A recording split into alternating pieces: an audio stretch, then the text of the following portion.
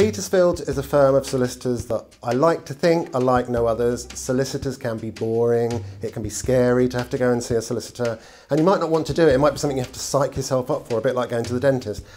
We like to pride ourselves on being different to that, and we're friendly and approachable solicitors.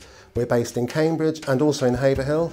We cover a number of areas of law, including employment, which is my particular specialism, family disputes, divorces and children matters.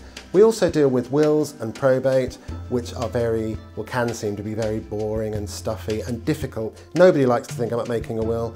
Nobody likes to think about that day when they will no longer be about, but unfortunately it happens to everybody, even to solicitors. So if you need to plan your future, you do need to make a will. Everybody should have a will. It isn't as simple as just, well, if I die, my husband will get it or my wife will get it. What happens if you both die at the same time? Unthinkable, but sometimes it happens.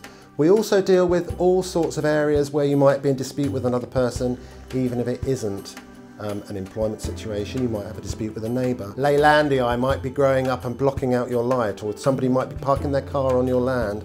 Horrible situations, but sometimes you need a solicitor. And also if somebody owes you money, people often don't know what to do.